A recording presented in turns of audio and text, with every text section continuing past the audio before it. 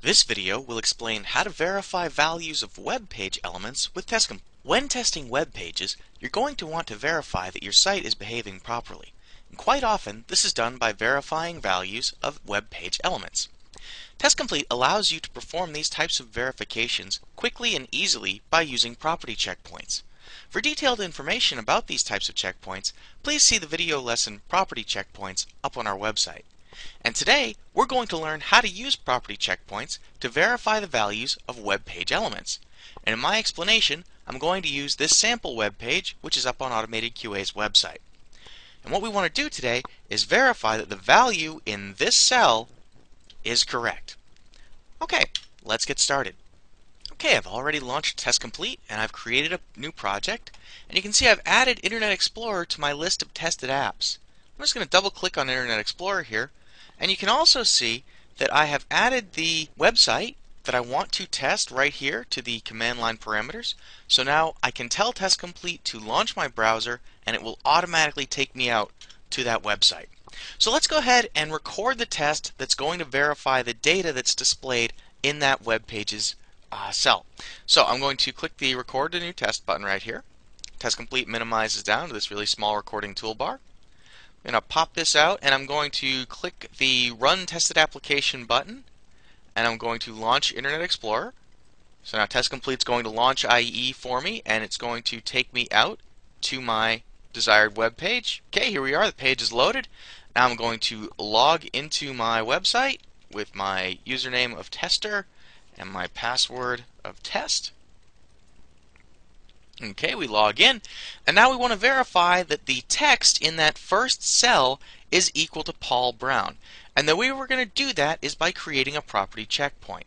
So let's come up here to our toolbar, and I'm going to select Create Property Checkpoint. That brings up the Property Checkpoint wizard. I'm just going to scoot that over a little bit. And now I'm going to select the item that I want to verify by dragging this Finder tool over onto that particular cell. So there we go. The cell is now highlighted. I'm going to release the mouse. TestComplete has grabbed a reference to that cell. I'm going to click Next.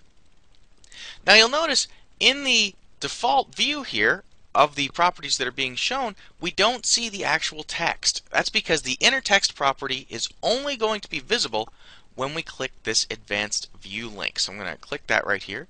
And now we can see every possible property that exists for that particular control. And to filter them down, I'm going to type in the word text right here. You can see this inner text property contains Paul Brown. That's what we want to verify. So we're going to select that and click Next. And this last screen is just a summary which says we're going to look at this particular control. We want to make sure that its inner text property equals Paul Brown. So I'm going to click Finish. Alright, my checkpoint's now been created. I'm going to log out of my site, close my browser down, and then we'll stop recording. So TestComplete has recorded the actions I've performed in the form of a keyword test. So right here, our first line item is invoking Internet Explorer. Right here is where we are putting in our credentials, our username, and our password. And right there is our property checkpoint. Okay, so now I'm going to run my test. And to do that, I just need to click this Run Test button. And TestComplete is going to take over and perform that same sequence of actions that we recorded just a moment ago. Okay, I fast forwarded a bit, and as you can see, TestComplete has generated its test results and is displaying those results here in the log panel. And I'm going to select my checkpoint message right here. And as you can see, our verification has passed, and there's some additional information down here in the remarks panel and what this is telling us is that the expected value of Paul Brown did in fact match the found value of Paul Brown. So the checkpoint was successful, and if there had been a failure here, we'd be able to tell exactly what went wrong. We'd be able to see exactly what TestComplete found versus what it was expecting. This is really handy if you do encounter failures during the course of your tests. This concludes our video on verifying values of web page elements with TestComplete.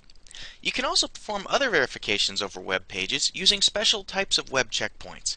For more information about these, see the video lessons Web Accessibility Checkpoints and Web Comparison Checkpoints up on our website. And if you have any questions, please don't hesitate to contact us at the email addresses on your screen, and we wish you luck and hope you enjoy automating your tests with TestComplete.